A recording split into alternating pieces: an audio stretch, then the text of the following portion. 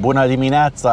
Am luat X3-ul astăzi pentru că trebuie să mă duc să-mi fac ITP-ul la remorcă și la BMW am crilic de tractare și la Tesla nu am pentru că n-avea niciun rost să mai dau, cred că 1000 și ceva de euro pe criligul pentru Tesla, având în vedere că folosesc foarte rar remorca. Iar când o folosesc, iau X3-ul pentru că are din fabrică crilic de tractare. Este o remorcă cu masa total maximă autorizată de 750 de kg o remorcuță de asta mică, fără sistem de frânare. ITP-ul se face la 2 ani. Este o remorcă Repo Pop Industry. O am din 2020, dar este an de fabricație 2019, am văzut pe carte. Nu am mers foarte mult cu ea. Cred că dacă am 1000 de kilometri e bine. Remorca asta poți să o conduci lejer cu categoria B de permis. Este destul de mare, e ca o platformă așa. Cred că are dimensiunile de 3 metri lungime pe 1,6 metri lățime. Am la ea și o rampă din aia moto, astfel încât să poți să sui o motocicletă pe ea sau două motociclete, de exemplu, că țin cap și două motociclete și fiind o remorcă din asta platformă, ca să poți să pun o motocicletă pe ea, a trebuit să mai cumpăr un suport din acela, o să vă las aici pe ecran o poză, astfel încât să poți să bagi roata din față a motocicletei în acel suport și să stea motocicleta în picioare, cum s-ar zice. Am cumpărat suportul acela, îl am, e nou nouț în folie, nu l-am folosit niciodată, îl am acolo, stă bine pentru când voi avea nevoie de el. Suportul ăsta de moto pentru remorcă l-am luat în ideea că poate voi lua vreodată Harley-ul și mă duc la Răzvan la Vâlcea și de acolo să plecăm mai departe pe motociclete, nu știu, să facem un transfăgărășan, etc, un drum mai lung și să nu merg până la Vâlcea cu motorul și să mă duc cu motocicleta pe remorcă, să mă duc frumos cu mașina, relaxat.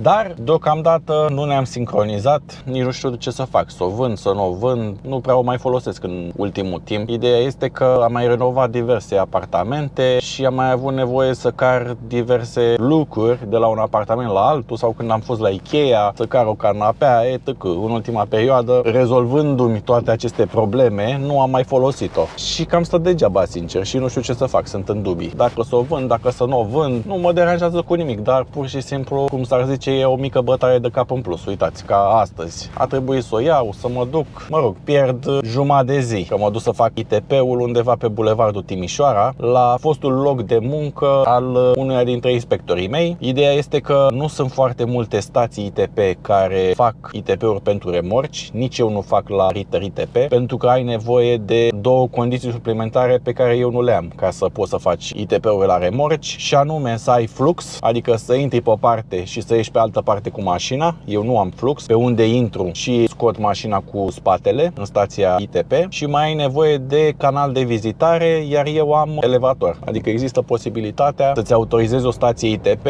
prin două variante, dacă ai canal de vizitare sau dacă ai elevator. Eu am ales varianta cu elevator pentru că la momentul respectiv, nu știu dacă v-ați uitat pe canal la episodul în care explicam de ce, dar mi se cerea 10.000 de euro să mi se facă un canal de vizitare și atunci am zis pas pentru că am cumpărat elevatorul cu 2.000 de euro și practic am economisit 8.000 de euro. Dar dacă aș fi avut posibilitatea să fac o stație ITP cu flux, cu intrare și ieșire, atunci garantat mi-aș fi făcut cu canal de vizitare pentru că puteam să fac și remorci. Și de asta stațiile ITP care fac ITP-uri pentru remorci sunt mai rare. Și atunci am zis, domne, hai să merg la sigur, hai să merg unde a lucrat Emi, inspectorul meu din stație și l-am rugat pe el și mi-a zis să mă duc cu remorca la fostul lui loc de muncă. Este destul de simplu ITP-ul la o astfel de remorcă, că nu verifici noxe, frâne, având în vedere că este o remorcă fără sistem de frânare. Cred că se verifică actele, seria de șasiu, luminile, anvelopele și cred că cam atât. Adică în 10 minute, nu știu dacă au ce să facă mai mult la o inspecție tehnică pentru o astfel de remorcă fără sistem de frânare. Ideea este că și la remorci, timpul minim pentru a face o inspecție ITP conform legislației, din ce știu eu, este tot de 20 de minute. Adică chiar dacă tu termini mai repede, softul de la RAR nu-ți permite să iei codul acela de autorizare și să dai inspecția decât după minim 20 de minute. Am observat, având în vedere că l-am mai mers de mult cu remorca, că nu îmi merge semnalizarea pe partea stângă la remorcă și știți de ce? Pentru că îmi clipește foarte repede semnalul la BMW, la mașină. Și asta înseamnă că semnalul pe stânga, la remorcă, nu funcționează. Și înainte să mă duc să-mi fac ITP-ul, o să mă duc la mine la stația Ritter ITP și o să-mi verific toate becurile de la remorcă, astfel încât să nu mă trezesc la ITP că nu am becuri funcționale pe spate. Ce mă enervează la remorca asta când mergi cu ea goală, bine, cu remorca asta nu ar trebui să mergi cu cu ea goală, dar când mergi cu ea goală, țopăie, frate, este foarte enervant. E atât de ușoară încât țopăie în continuu și e foarte enervant. Dar n-ai ce face. Mai trebuie să mergi cu ea goală când te duci să iei marfa. Deci o remorcă ca asta te ajută din foarte multe puncte de vedere. Iar costul de, nu știu, 5-6 mii de lei, mie mi se pare rezonabil, ca să nu zic ieftin, pentru cât de multe întrebuințări are o astfel de remorcă. Gândește-te, poți să cari ATV, motociclete și țin două motociclete, da? Poți să o folosești pentru uz apicol, poți să cari marfă,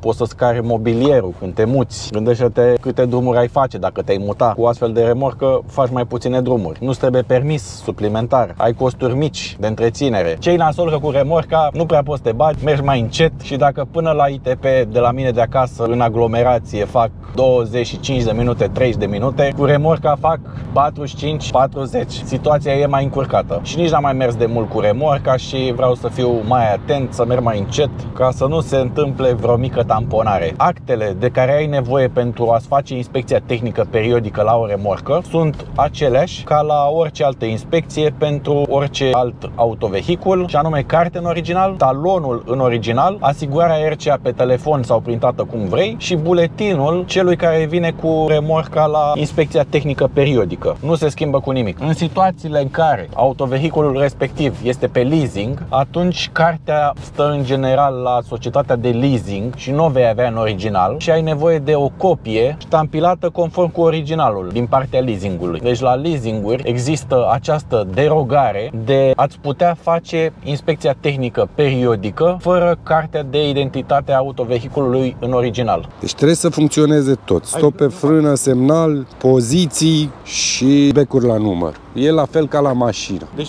dacă un bec nu funcționează, pici Trebuie- DP-ul la remorcă. nu? Trebuie înlocuit, da. Are vreo importanță dacă este remorcă fără sistem de frânare sau cu sistem de frânare? Nu are Nu. nicio importanță, nu? Nu. Doar că la aia cu sistem de frânare pici Faci- la frene. faci frâne. Dacă nu are frene, nu? La astea fără sistem de frânare faci decât jocuri la Așa. roți, să n-ai Ok. Joc în rulmenți, Verificarea anvelopelor același dimensiune ce e trecută în carte și să Ok. nu fie deteriorat. și actele. RCA, carte de identitate, și talon. talon și buletinul persoanei care a venit cu remorca, nu? Exact. Și mă rog, îi verifici seria, de exemplu, să corespundă cu cea din carte. Cea din carte și din talon. Cea pansonată, da. Acum hai să verificăm luminile. Ca să mă asigur că trec ITP-ul, că după asta mă duc la ITP. Frână. Avem semnal? Da, nu, în rest sunt. Nu merge semnalul stânga. Da, ia mai dai și marșarier? Vezi că n-ai bec pe marșarier acolo. E sticla albă, dar bec n-ai înăuntru.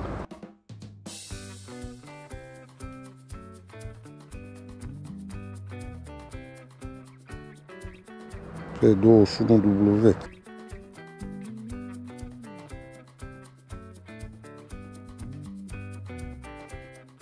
Dar hai să vedem dacă e de la bec.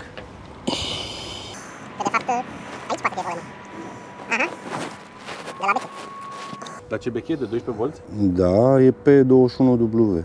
Aici e bine, asta merge, asta merge, asta merge. Poziție stopă fră.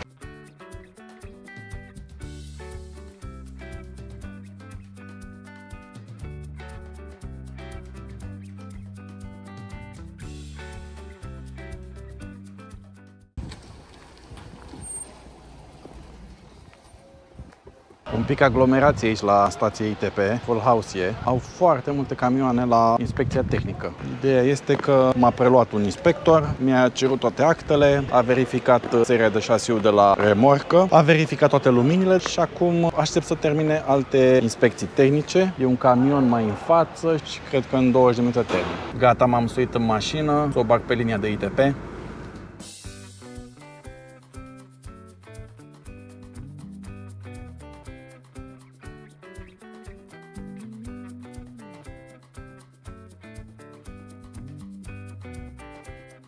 Gata și ITP-ul la remorcă. ITP pe 2 ani de zile până în 2026. A costat 130 de lei pentru că este remorcă fără sistem de frânare. Ideea este că vedeți cum arată stația ITP. Am intrat pe partea ailaltă și am ieșit pe aici. Deci este o stație ITP cu flux. Este autorizată și pentru clasa a 3 adică auto-utilitare peste 3,5 tone. Eu am autorizație doar pentru clasa 1 și clasa 2 adică motociclete, ATV-uri și autovehicule până în 3,5 tone. Nu cred că am stat durat mai mult de jumătate de oră. Mi s-au verificat jocurile, luminile, actele, seria de șasiu. A mers destul de repede, se verifică puține lucruri la o inspecție tehnică pentru o remorcă fără sistem de frânare și merge destul de repede. Cred că mergea și mai repede dacă nu era coadă și implicit dacă a fost coadă a trebuit să mai pierd vreo 10-15 minute. Cam asta a fost și episodul de astăzi. Aștept și părerea voastră și să ne vedem cu bine în următorul video. Salut, pa, la revedere!